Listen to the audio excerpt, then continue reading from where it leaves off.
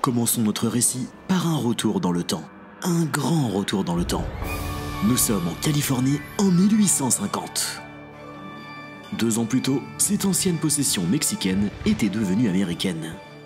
C'est la destinée manifeste. Cette vision conquérante des États-Unis, pour qui s'étendre vers le Pacifique, ne pouvait être qu'une évidence divine. En 1850, la Californie devient officiellement le 31e État américain. À cette époque, l'État n'était peuplé que de 90 000 habitants, principalement des Amérindiens persécutés et des hispanophones. Sauf que la démographie de la Californie ne va pas tarder à exploser. En 1854, sa capitale est choisie. Ce sera Sacramento. Pourquoi? Car cette bourgade est située à la confluence de rivières stratégiques. Surtout, la découverte de l'or en 1848 dans les montagnes de la Sierra Nevada a transformé Sacramento en un centre névralgique. Rien n'est plus synonyme de rêve américain que la Californie. Décennie après décennie, l'État s'impose comme l'un des plus puissants et dynamiques des États-Unis. Des villes comme San Francisco ou Los Angeles rayonnent et attirent des habitants venus du monde entier. La ruée vers l'or semblait bien loin. Tous les regards étaient désormais tournés vers Hollywood. Et Sacramento dans tout ça? Eh bien, la ville perdit rapidement de sa superbe. La capitale de la Californie est un lieu de bureau qui n'attire pas grand monde. Disons-le, il ne se passait rien d'excitant à Sacramento. Il fallait bien s'être perdu pour s'installer dans la ville. Perdu Voilà un bon mot pour décrire l'une des franchises NBA les plus instables de tous les temps. C'est en 1948 que les Rochester Royals rejoignent la toute nouvelle ligue américaine. Dix ans plus tard, l'équipe fait ses valises pour l'Ohio, à Cincinnati. En 1972, rebelote. La franchise s'en va cette fois-ci pour Kansas City. 13 ans plus tard, les Kings étaient au bord de la faillite. C'est alors qu'un groupe d'investisseurs convinrent la NBA d'un pari aussi étonnant qu'audacieux. S'installer à Sacramento. Sacramento is a city with a potential for a great future. It is also a city with an identity I think crisis. it's going to happen very much in Sacramento. We expect it to be one of our most successful franchises.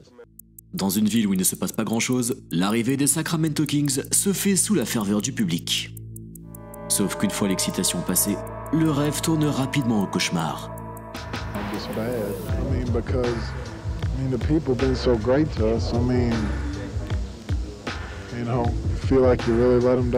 Saison après saison, les Kings proposent une véritable bouillie de basketball sur les parquets. Et lorsque Sacramento obtient le premier choix de la faible draft 1989, le résultat en est l'obscur flop Purvis Ellison.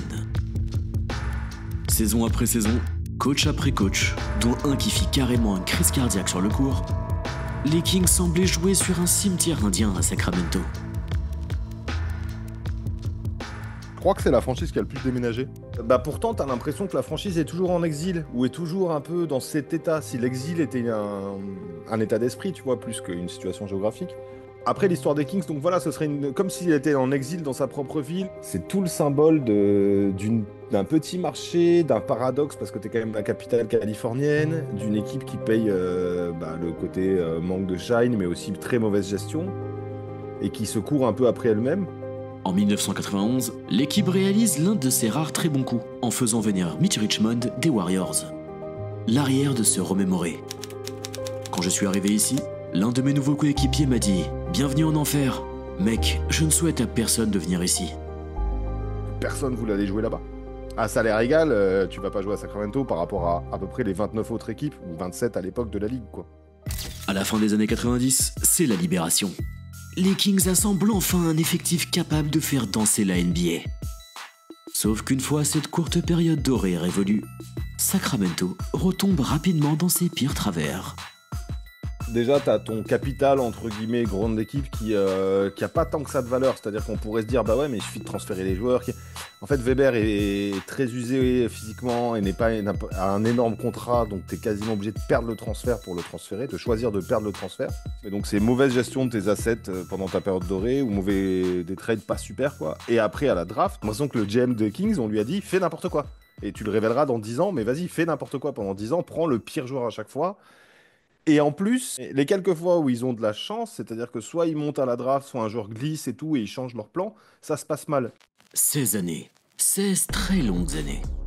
Voilà le temps d'absence des Sacramento Kings en playoff. Un record historique.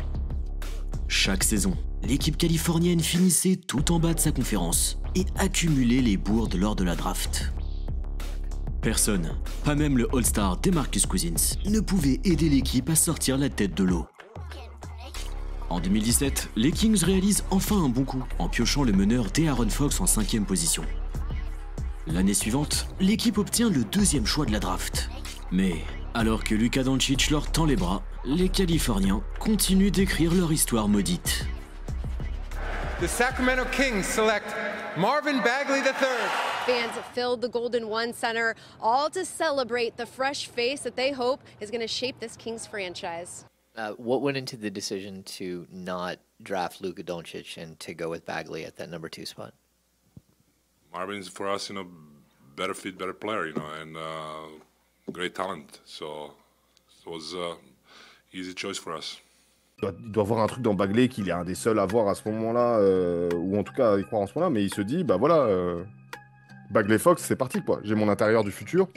Bagley, attention, c'est-à-dire que les Kings de draft, et c'est un flop, mais si les Kings de draft pas, je pense qu'il est top 5. Et voilà, il a, il a drafté au fit, comme on dit, il a drafté au fit, parce que, et pas au talent, et peut-être aussi qu'il a fait une espèce de, qu'il l'assumera jamais, mais qu'il a fait une espèce de raisonnement à l'envers.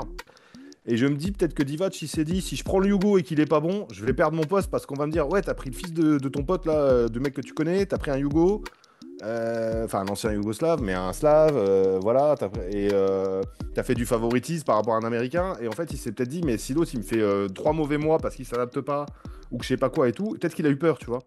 Alors qu'il y avait quasiment aucune chance que Doncic ne réussisse pas. Comment pouvait-il en être autrement? Luka Doncic démontra qu'il avait l'étoffe d'une future légende. L'expérience Marvin Bagley tourna en eau de boudin. Encore une fois, les Kings étaient les rois de la poisse. Ce que la franchise avait toujours eu du mal à trouver était la tête d'affiche générationnelle pour mener Sacramento au succès. Un joueur qui possédait à la fois charisme, talent et implication. Et si ce Messi portait le nom de Tyrese Haliburton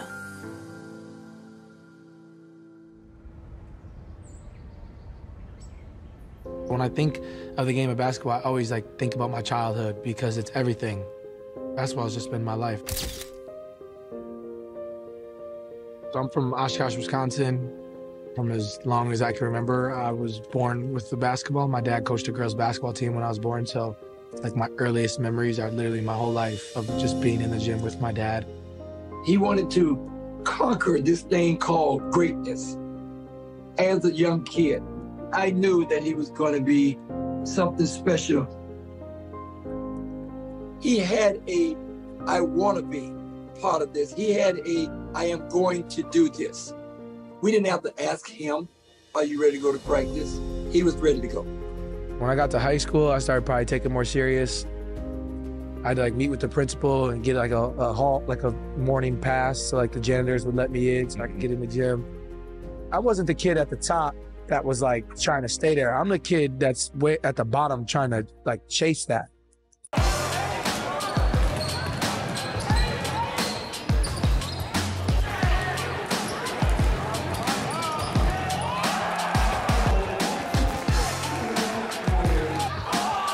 What what made me different was um, at a young age, I just kind of understood, uh, you know, the importance of like team camaraderie and uh, getting everybody involved.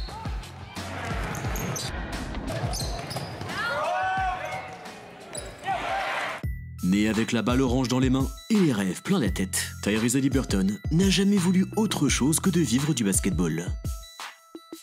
Au lycée, il n'est pas le plus athlétique, ni le plus prolifique au scoring. Mais Haliburton est un guerrier qui sait parfaitement combler ses lacunes physiques par son intelligence de jeu. Des bons joueurs lycéens, il en existe pléthore. En 2018, Haliburton était loin de faire partie du gratin de sa classe. Oui, le chemin vers la NBA était encore très loin. Coming out of high school, did you feel like kind of under the radar? Uh, I would say I, was, I would counter that to say I wasn't on the radar. On s'approche à très grands pas des 150 000 abonnés. Ce n'est pas du tout dans nos habitudes de vous le demander, mais si ce n'est pas encore fait, n'hésitez pas à vous abonner pour supporter notre travail. En 2018, Tyrese Halliburton s'engage avec Iowa State. Le programme n'est pas le plus prestigieux du pays, mais a vu certains de ses joueurs rejoindre la NBA dernièrement. La NBA, voilà le rêve ultime de Tyrese Halliburton. Le meneur est un joueur mystérieux, capable de lever les foules comme les doutes. Mais alors qu'il arriva sans fracas en NCAA, son nom se faisait de plus en plus entendre chez les scouts NBA.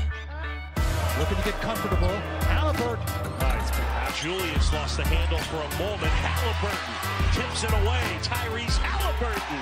Got Condon fighting for it. And Halliburton has it. Condon rises up. Halliburton to three.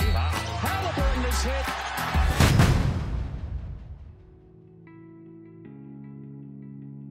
C'est un mec un peu atypique, un peu grand, dégingandé pour un meneur, mais vision de jeu incroyable. Euh, leader, mec super intelligent dans les médias et tout, euh, charismatique et tout. Je dis ok, je regarde. Ma première impression, comme on dit, c'est waouh, putain, c'est spécial. euh. J'ai un blocage en fait au début sur la mécanique, mais de tout. Je trouve que le mec- déjà le mec joue avec un short trop court, il joue en basse, enfin il y a un truc chelou esthétiquement, il a des longues gambettes. Il a pas un joli dribble, et, voilà, bah, comme il l'a aujourd'hui hein, d'ailleurs, c'est pas forcément son point fort au niveau, c'est pas le dribbleur le plus chaloupé. Mais par contre, effectivement, tu vois que la taille, la vision, la volonté de jouer collectif et tout. Tyrese Halliburton, who is a prospect that that's a name that I'm sure a lot of people have never heard before, but suddenly in the last few days I'm hearing it a lot. Halliburton is is undervalued in this draft. Le but initial de Tyrese Halliburton S'inscrire à la draft avant 4 saisons universitaires. Le résultat, il n'en fallut que deux. Dans une année plombée par le Covid, bien peu avaient entendu le nom du meneur. Mais la NBA avait décelé que ces éclairs de génie étaient le signe d'un immense potentiel. C'est alors que ce joueur qui ne voulait que gagner croisa la route d'une franchise qui ne faisait que perdre. With the 12th pick in the 2020 NBA Draft, the Sacramento Kings select Tyrese Halliburton from Iowa State University. Tyrese has been waiting for a while, and do you think this is an absolute? I'm in the perfect spot. Sacramento's the perfect spot for me. Mais il était assez polarisant aussi. Il y avait des gens qui disaient ça marchera pas parce qu'en fait ça va être un bon role player euh, qui va t'apporter du collectif, du liant, tout ça et tout. Mais il n'y a pas de talent offensif assez, assez grand pour euh, changer la dynastie, changer le destin d'une équipe ou porter truc. Et il y en a d'autres qui voyaient quand même quelque chose de justement un peu mal scouté, qui disaient non, non, il y a gros talent. high basketball IQ, a great kid. Sacramento's got a steal here, and this kid is going to be in the league for 15 years. Depuis leur arrivée à Sacramento, les Kings étaient le purgatoire des joueurs NBA. Personne ne voulait mettre les pieds dans une ville barbante avec une équipe abominable. Mais Tyrese Halliburton sait bien qu'il vient de loin et que rejoindre la Grande Ligue américaine est déjà une prouesse. Contrairement à d'autres, il se sent fier de vouloir écrire la destinée des Kings. Je suis à 1000% à Sacramento. Je veux devenir l'un de ces joueurs qui ont été draftés dans une petite ville et qui ont écrit une légende. Je veux devenir quelqu'un dont les habitants de Sacramento sont fiers. Un mental d'acier, Tyrese Halliburton l'avait bien. Mais il ne devait pas oublier que rien ne se passe jamais comme prévu à Sacramento. When I got there my rookie year, I, I was like, whatever they need me to do, I'm to do. So I came off the bench Au début, il, est, il, est, il met un peu de temps, il est remplaçant aussi, les Kings sont pas bons, il est, il est utilisé un peu en espèce de méga sixième homme, il rentre parfois arrière, parfois meneur à la place de Fox, parfois, je pense qu'il y a Buddild au départ, je suis même quasiment sûr titulaire. Je pense même qu'il y a des petits moments où on fait des bacs courtes euh, à 3, et du coup pas de poste 3, tu vois, Liberton doit rentrer à côté des deux autres, enfin voilà. Il est bon toi Liberton, mais il n'y a pas ce volume de jeu encore, tu vois, c'est des flashs, des bribes des séquences de jeu, des actions, mais il n'y a pas assez de continuité. Mais en fait, tu te rends compte que c'est parce qu'il est coaché comme ça. Et puis, moi, je me rappelle surtout, je pense qu'il se blesse en saison rookie. Voilà, mais en tout cas, quand il revient, et là, tu te dis, ok, il a étudié un peu ou machin. Là, tu commences à voir quand même quelque chose. Halliburton, five on the shot clock. Got to get busy with it. Halliburton off glass, got it. Under a minute to go. Halliburton. Goodness. My. Halliburton. On the dribble drive, gets it to the paint, hangs. Count it! Halliburton with three on the shot clock. Got to get busy here. Launches. Oh! It's hailing! Threes from Halliburton. Et tu dis, waouh, Halliburton Fox, on tient un truc. Il y a quelques victoires en plus En- tu sens que ça pèse un peu sur les résultats, que ça commence à monter un peu. Tyrese Halliburton. Tyrese Halliburton. Halliburton has been the best player on that team. Sacramento 2022. Les Kings n'empilent toujours pas les victoires, mais un talent semble éclore en Californie. Petit à petit, Tyrese Halliburton brille et fait briller. Il y a assurément quelque chose d'unique en lui. Le 29 janvier, il plante 38 points, nouveau record en carrière. Une semaine plus tard, il distribue la somme impressionnante de 17 passes décisives. On se demandait de plus en plus si ce génie du jeu n'était finalement pas le Messi tant attendu de Sacramento Kings. Sauf que trois jours plus tard,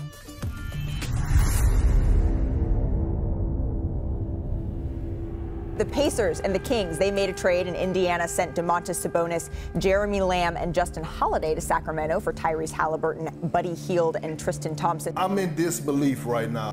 The Kings just traded their best player. The league is stunned at this trade.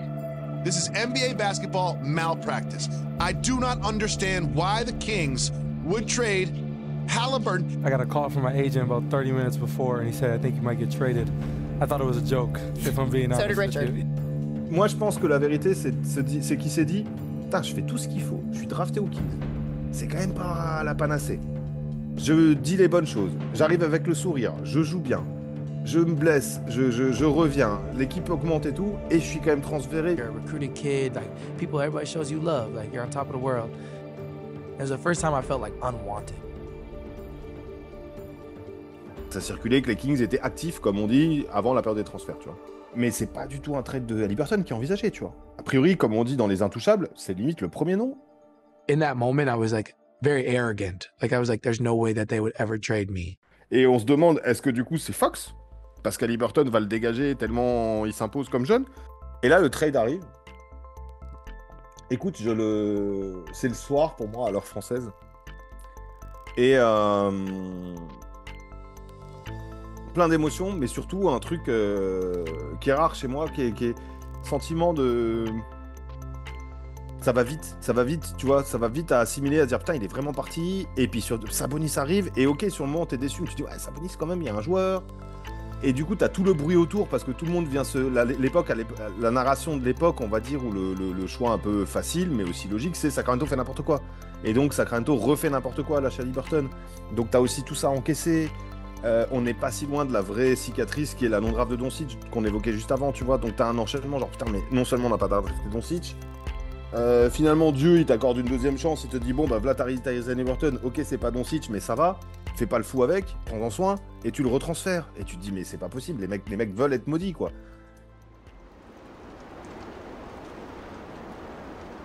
si Sacramento n'est pas une ville glamour, que dire d'Indianapolis? Adieu la chaude Californie, bienvenue dans le rugueux Midwest. À la différence de Sacramento, ce n'est même pas par volonté que la NBA s'installa à Indianapolis. En 1976, la Ligue signa un accord de paix avec la ABA, une compétition concurrente qui lui avait causé bien du tort. En échange, la NBA doit accepter quatre équipes de son ancienne rivale. Parmi elles, les Indiana Pacers. Si l'équipe a connu un grand succès en ABA, la transition vers la NBA est très délicate. Plus d'une décennie après leur arrivée parmi les grands, les Pacers n'avaient participé que deux petites fois aux playoffs. Mais en 1987, un joueur va changer le destin de la franchise, Reggie Miller. L'arrière a du caractère et du talent. Avec lui, les Pacers vont découvrir le haut du panier NBA. Mais lorsque Miller prend sa retraite en 2005, Indiana n'a toujours pas un seul titre dans son armoire à trophées. Si Sacramento connaît un dynamisme certain aujourd'hui, Indianapolis n'excite toujours personne. Qui voudrait donc poser ses valises dans l'Indiana, cet état conservateur à l'économie chancelante que le soleil n'ose que très rarement visiter Et pourquoi pas un génie du basketball? Like I knew going to Indiana is closer to my family, all those things. But I was just so angry at everything and the world, to be honest. It really forced me to. Je pense qu'il comprend aussi que la NBA, il n'y a pas de sentiment. Je pense qu'il a durci un petit peu aussi et qu'il s'est dit Ben, en fait, faut montrer encore plus, les places sont chères, quoi.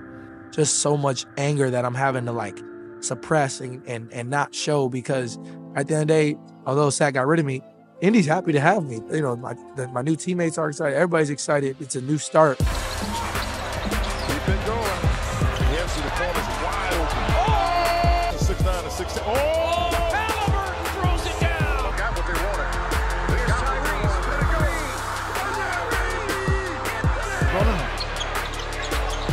Of a. Oh, yeah, what a dive! Get the team right at eight. It tend to be a little bit Je pense que c'est un, si ce n'est le gars en NBA qui est le plus au service du jeu. D'où son sourire aussi et tout. Il y a une vraie joie de jouer. Ça, je trouve que vraiment, on... c'est même communicatif. Et je pense que ça joue. Je pense que ça joue sur ses coéquipiers. Je pense que c'est aussi pour ça, il a compris ça, qu'il est aujourd'hui un vrai leader de ses Pacers. C'est pas seulement parce qu'il est bon ou le meilleur joueur de son équipe. Si ça se trouve, c'est peut-être pas. Enfin, tu vois, Siakam est quand même très fort et tout. Par contre, l'entrain qu'il met, le côté euh, un peu comme Jason Kidd à l'époque et tout, le côté si vous vous démarquez, vous allez avoir la balle, si vous êtes attentif, moi je vais l'être, euh, on va tous se connecter les uns aux autres, on va avoir un vrai collectif. This is unbelievable just watching this kid do this thing right now. Shoot 52% from the field, 45% from three point range, 88% from the free throw line. Leads the NBA with 11.9 assists a game and is third in the league behind Steph Curry and Luka Doncic with 68 three, three pointers made this season. The brother is spectacular. A blessing in disguise. L'arrivée choc d'Ali Burton à Indiana réveilla le monstre qui sommeillait en lui. Depuis tellement d'années, le meneur avait accumulé rêves et abnégation. Il trouva à Indianapolis le parfait carburant pour faire foncer son bolide. Deux fois All-Star, meilleur passeur de la ligue. À seulement 24 ans, Tyrese Halliburton est une étoile montante qui ne semble qu'au début de son ascension. Big on having as many motivations as you can because I think all the greats do. You know, when it's time to get to business, it's time to get to business. But I've always just wanted to win. Et Sacramento dans tout ça?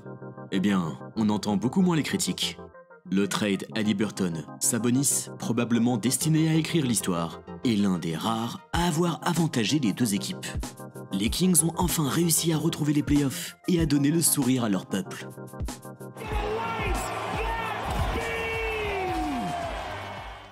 What's up, Pacers fans? We're excited for. We are all NBA players. We all have money.